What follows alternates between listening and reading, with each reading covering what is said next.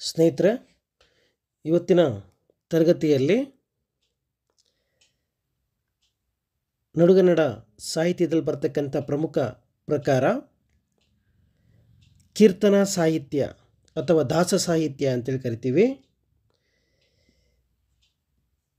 ಅದರ ಬೆಳವಣಿಗೆಯನ್ನು ಕುರಿತು ನಾವು ಇವತ್ತಿನ ತರಗತಿಯಲ್ಲಿ ಚರ್ಚೆ ಮಾಡೋಣ. ಕೀರ್ತನ ಸಾಹಿತ್ಯ ಕನ್ನಡ ಸಾಹಿತ್ಯ ವಾಂಗ್ಮಯದಲ್ಲಿ ಹರಿದಾಸರ ಸುಳಾದಿ ಉಗಭೋಗಾದಿಗಳನ್ನುಳಿದು ಬಿಡಿ ರಚನೆಗಳ ಸಮೂಹಕ್ಕೆ ಕೀರ್ತನೆಗಳು ಅಂತೇಳಿ ನಾವೇನು ಮಾಡ್ತೀವಿ? ಕರಿತೀವಿ. ಕೀರ್ತನೆ ಅಂತಕ್ಕಂಥ ಮಾತಿಗೆ ಭಾಗವತದಲ್ಲಿ ಸ್ತುತಿ, ಸ್ತೋತ್ರ ಅಂತಕ್ಕಂಥ ಅರ್ಥಗಳಿವೆ. ಕೀರ್ತನೆ ಎಂಬತಕ್ಕಂಥದ್ದು ಕನ್ನಡದ ಸಂವಾದಿ ಪದ ಅಂತೇಳಿ ನಾವು ನೋಡ್ಬೋದು. ಭಕ್ತಿ ಮಾರ್ಗದ ಅಭಿವ್ಯಕ್ತಿಯಲ್ಲಿ ಕೀರ್ತನೆ ಪ್ರಮುಖ ಪಾತ್ರ ವಹಿಸಿರ್ತಕ್ಕಂಥದ್ದನ್ನು ನಾವಿಲ್ಲಿ ಗಮನಿಸ್ಬೋದು. ಆದಿದೈವವನ್ನು ಕುರಿತು ದಾಸರು ಕಟ್ಟಿದ ಹಾಡುಗಳೇ ಕೀರ್ತನೆಗಳು ಅಂತಲೂ ಕೂಡ ಇವುಗಳನ್ನು ಕರೀತಾರೆ. ಕೀರ್ತನೆ ಸಾಮಾನ್ಯವಾಗಿ ಪಲ್ಲವಿ, ಅನುಪಲ್ಲವಿ, ನುಡಿಗಳು ಈ ಮೂರೂ ಧಾತುಗಳಿಂದ ಕೂಡಿರ್ತಕ್ಕಂಥದ್ದು. ಸಮಾಜದ ಆರೋಗ್ಯ ಸೂತ್ರಗಳಾಗಿರ್ತಕ್ಕಂಥ ಸತ್ಯ, ಧರ್ಮ, ಸ್ವಚ್ಛತೆ, ಭಕ್ತಿ, ಸಜ್ಜನಿಕೆಗಳನ್ನು ಬೋಧಿಸುವುದರ ಜೊತೆಗೆ ಮನುಷ್ಯನ ಮತ್ತು ಸಮಾಜದ ಸಣ್ಣತನ, ಮತ್ಸರ, ಭ್ರಮೆ, ಅಂಧಶ್ರದ್ಧೆಗಳನ್ನು ಗುರುತಿಸಿ ನಾಶಪಡಿಸಲು ಕೀರ್ತನೆಗಳ ಕೀರ್ತನೆಗಳ ಮೂಲಕ ಹರಿದಾಸರು ಪ್ರಯತ್ನಪಟ್ಟರು ಅಂತೇಳಿ ಹೇಳ್ತಾರೆ. ಭಕ್ತಿ ಸಾಹಿತ್ಯವು ಒಂದು ಚಳುವಳಿಯ ರೂಪದಲ್ಲಿ ಕನ್ನಡದಲ್ಲಿ ಮೊಟ್ಟ ಮೊದಲು ಕಾಣಿಸಿಕೊಂಡದ್ದು ಹನ್ನೆರಡನೇ ಶತಮಾನದಲ್ಲಿ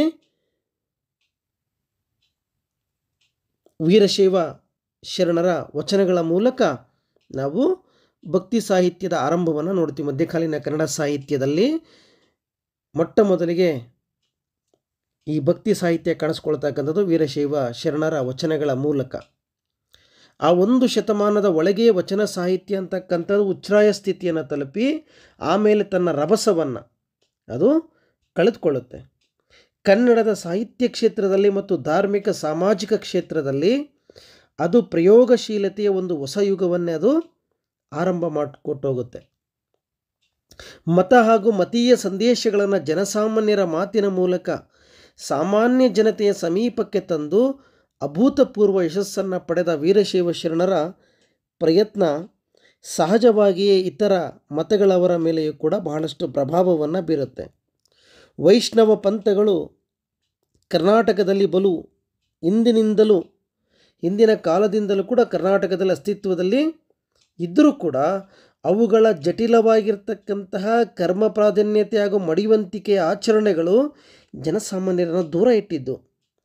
ಅವುಗಳ ಮತತತ್ವ ಸಂಬಂಧಿಯಾದ ಸಾಹಿತ್ಯ ಸಂಸ್ಕೃತದಲ್ಲಿಯೇ ಇದ್ದಿದ್ದರಿಂದ ಸಾಮಾನ್ಯ ಜನತೆ ಅದನ್ನು ತಿಳಿದುಕೊಳ್ಳೋದಕ್ಕೆ ಅಸಾಧ್ಯವಾಗಿತ್ತು.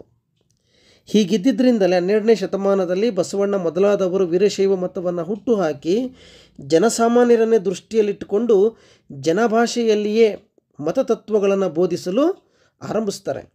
ಸಾಮಾನ್ಯ ಜನ ಸಮುದಾಯ ಒಮ್ಮೆಲೆ ಅಪಾರ ಸಂಖ್ಯೆಯಲ್ಲಿ ಆ ಮತದ ಕಡೆಗೆ ಅವರು ಆಕರ್ಷಿತರಾಗ್ತಕ್ಕಂಥದ್ದು. ಒಂದು ವಚನ ಸಾಹಿತ್ಯದ ಕಡೆಗೆ ಅವರು ಆಕರ್ಷಿತರಾಗ್ತಕ್ಕಂಥದ್ದನ್ನು ನಾವಲ್ಲಿ ನೋಡ್ತೀವಿ ವೀರಶೈವರ ಈ ಅದ್ಭುತ ಯಶಸ್ಸು ಉಳಿದ ಮತಗಳವರ ಕಣ್ಣುಗಳನ್ನು ತೆರೆಸುತ್ತೆ ಮುಂದೆ.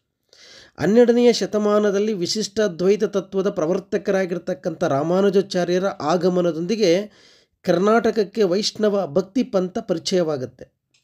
ಆದರೆ ಕರ್ನಾಟಕದಲ್ಲಿ ವೈಷ್ಣವ ಭಕ್ತಿ ಸಾಹಿತ್ಯದ ಪ್ರಚಾರಕ್ಕೆ ಚಾಲನೆ ದೊರೆತದ್ದು ಹದಿಮೂರನೆಯ ಶತಮಾನದಲ್ಲಿದ್ದ ದ್ವೈತ ಮತ ಪ್ರವರ್ತಕರಾಗಿರ್ತಕ್ಕಂಥ ಮಧ್ವಾಚಾರ್ಯರ ಕಾಲದಿಂದ ಈಚೆಗೆ ಅಂತೇಳಿ ಕಾಣಿಸುತ್ತೆ.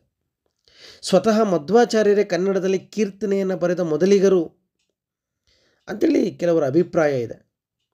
ಈಗ ನಮಗೆ ದೊರಕಿರ್ತಕ್ಕಂಥ ಕ್ರೀ, ಕೀರ್ತನೆಗಳೇ ಪ್ರಾಚೀನ ವಾದವುಗಳು ಎಂದು ಕಂಡುಬರ್ತದೆ. ಆದರೆ ಕನ್ನಡದಲ್ಲಿ ಕೀರ್ತನೆಗಳನ್ನು ಬಹುಸಂಖ್ಯೆಯಲ್ಲಿ ರಚಿಸಿ ಕೀರ್ತನ ಸಾಹಿತ್ಯಕ್ಕೆ ಭದ್ರ ಬುನಾದಿಯನ್ನು ಹಾಕಿದವರು ಶ್ರೀಪಾದರಾಯರು ಅಂತಕ್ಕಂಥದ್ದು ಬಹುಜನ ಸಮ್ಮತವಾಗಿರ್ತಕ್ಕಂಥ ಅಭಿಪ್ರಾಯ. ಕೆಲವರು ಕ, ಮೊಟ್ಟ ಮೊದಲ ಕೀರ್ತನಕಾರ ನರಹರಿ ತೀರ್ಥರು ಅಂತಲೂ ಕೂಡ ಹೇಳ್ತಾರೆ. ವಿಜಯನಗರದ ರಾಜಗುರುಗಳಾಗಿರ್ತಕ್ಕಂಥ ವ್ಯಾಸತೀರ್ಥರು ಶ್ರೀಪಾದರಾಯರ ಶಿಷ್ಯರಾಗಿದ್ದರು. ತಮ್ಮ ಗುರುಗಳಂತೆಯೇ ವ್ಯಾಸತೀರ್ಥರು ಸಾಕಷ್ಟು ಸಂಖ್ಯೆಯ ಕೀರ್ತನೆಗಳನ್ನು ರಚ- ರಚಿಸ್ತಾರೆ. ಕನ್ನಡದಲ್ಲಿ ಸಾಹಿತ್ಯಕ್ಕೆ ಒಂದು ಚಳುವಳಿಯ ಸ್ವರೂಪ ಕೊಟ್ಟ ಕೀರ್ತಿ ವ್ಯಾಸತೀರ್ಥರಿಗೆ ಸಲ್ಲುತ್ತೆ. ಮುಂದೆ ಪುರಂದರದಾಸರು, ಕನಕದಾಸ, ಮೋಹನದಾಸ, ಜಗನ್ನಾಥದಾಸ, ಪ್ರಸನ್ನ ವೆಂಕಟದಾಸ, ಎಳವನಕಟ್ಟೆ ಗಿರಿಯಮ್ಮ ಮುಂತಾದವರ ಕೀರ್ತನೆಗಳ ಮೂಲಕ ಕೀರ್ತನ ಸಾಹಿತ್ಯ ಅಂತಕ್ಕಂಥದ್ದು, ದಾಸ ಸಾಹಿತ್ಯ ಅಂತಕ್ಕಂಥದ್ದು ಬೆಳೆಯುತ್ತೆ. ಹೀಗೆ ಹದಿನಾರನೇ ಶತಮಾನದಲ್ಲಿ ಕೀರ್ತನ ಸಾಹಿತ್ಯ ಪ್ರಕಾರವು ಸಂಖ್ಯೆ ಹಾಗೂ ಗುಣಗಳೆರಡರ ದೃಷ್ಟಿಯಿಂದ ಅದು ಪ್ರಸಿದ್ಧಿಯನ್ನು ಪಡೆಯುತ್ತೆ. ಈ ಕಾಲದ ಕೀರ್ತನ ಸಾಹಿತ್ಯ ಸುವರ್ಣಯುಗ ಅಂತ ಕರೆಸ್ಕೊಳ್ಳುತ್ತೆ. ಹದಿನಾರನೇ ಶತಮಾನದ ಕಾಲವನ್ನು ಕೀರ್ತನ ಸಾಹಿತ್ಯದ ಸುವರ್ಣಯುಗ ಅಂತೇಳಿ ಕರಿತೀವಿ. ವಚನಗಳಂತೆ ಕೀರ್ತನೆಗಳು ಕನ್ನಡ ಸಾಹಿತ್ಯದ ಸಿರಿವಂತಿಕೆಯನ್ನು ಹೆಚ್ಚಿದವು ಕೀರ್ತನೆಗಳು ತಮ್ಮ ಗೇಯತೆಯ ಆಕರ್ಷಣೆಯಿಂದ ಜನಸಾಮಾನ್ಯರನ್ನು ಇನ್ನಷ್ಟು ಸುಲಭವಾಗಿ ತಲುಪಲದು ಸಾಧ್ಯವಾಯಿತು. ಆಡು ನುಡಿಯನ್ನು ಕಾವ್ಯದ ನುಡಿಯಾಗಿ ಮಾಡುವಲ್ಲಿ ಪುರಂದರದಾಸರು, ಕನಕದಾಸರಂತಹ ಕೀರ್ತನೆಕಾರರು ತುಂಬ ಯಶಸ್ವಿಯಾಗಿ, ಯಶಸ್ವಿಯಾಗಿರ್ತಕ್ಕಂಥದ್ದನ್ನು ನಾವಿಲ್ಲಿ ಗಮನಿಸಬಹುದು. ಭಕ್ತಿಯ ಪ್ರಸಾರದಲ್ಲಿ ವಚನ ಸಾಹಿತ್ಯಕ್ಕೆ ಸರಿ ಮಿಗಿಲೆನಿಸಿ ಕೀರ್ತನ ಸಾಹಿತ್ಯ ಅಂತಕ್ಕಂಥದ್ದು ವಚನ ಸಾಹಿತ್ಯದ ಆನಂತರದಲ್ಲಿ ಬೆಳೆದು ಬಂತು.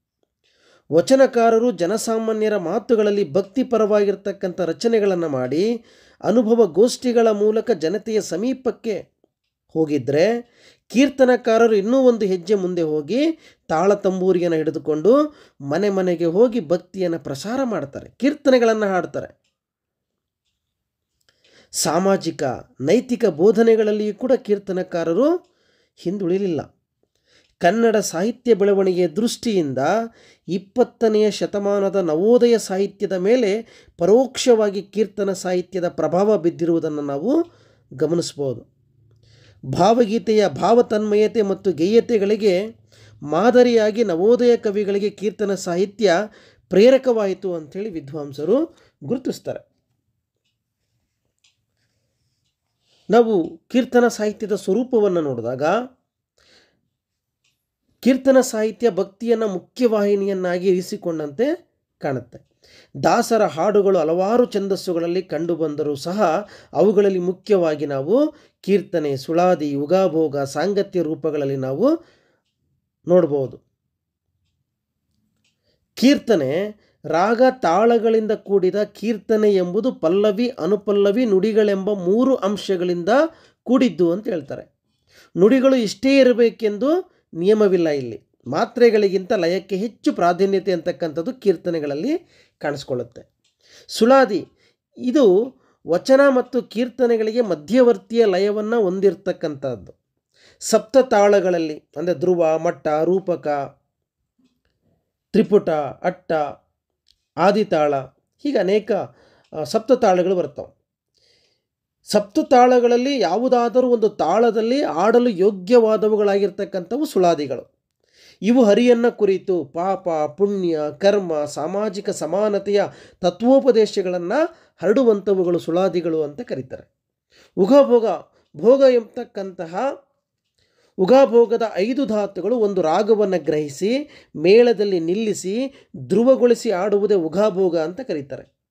ಇವೆಲ್ಲವುಗಳು ಸಹ ಅರಿಯ ತತ್ವೋಪದೇಶಗಳನ್ನು ಪ್ರಚಾರ ಮಾಡುವಲ್ಲಿ ಬಳಕೆಯಾಗಿರ್ತಕ್ಕಂಥದ್ದನ್ನು ದೇಶೀಯ ಕಾವ್ಯ ಮಾಧ್ಯ ಮಾಧ್ಯಮಗಳಾಗಿರ್ತಕ್ಕಂಥವಿವು ಉಗಾಭೋಗಗಳು ಸಂಗೀತ ಶಾಸ್ತ್ರದಲ್ಲಿನ ಒಂದು ಪ್ರಕಾರ ಅದು. ಭಾರತದ ಸಂಗೀತಕ್ಕೆ ಕರ್ನಾಟಕದ ಹರಿದಾಸರು ನೀಡಿದ ಒಂದು ವಿಶಿಷ್ಟ ಕಾಣಿಕೆ ಅಂತೇಳಿ ನಾವು ಉಗಾಭೋಗವನ್ನು ಕರಿತೀವಿ. ಸಾಮಾನ್ಯವಾಗಿ ಉಗಾಭೋಗ ಕೃತಿಗಳು ನಾಲ್ಕು ಸಾಲುಗಳಿಂದ ಹನ್ನೆರಡು ಸಾಲುಗಳವರೆಗೂ ಕೂಡ ಇರ್ತವೆ ಇನ್ನು ಸಾಂಗತ್ಯ ಹಾಡಿಗೆ ಮೂಲ ಮಟ್ಟಾಗಿರ್ತಕ್ಕಂಥ ಸಾಂಗತ್ಯವು ಮೊದಲೆರಡು ಸಾಲುಗಳನ್ನು ಪಲ್ಲವಿಯ ರೀತಿಯಲ್ಲಿ ಹಾಡಿ, ನಂತರ ಲಯಕ್ಕನುಗುಣವಾಗಿ ಬದಲಾಯಿಸಿಕೊಳ್ಳುವ ಗೇಯತೆಯ ಪರಿಯನ್ನು ಎಳೆದು ಹಾಡುವ ಮಟ್ಟಿಗೆ ಸಾಂಗತ್ಯ ಅಂತ ಕರೀತಾರೆ.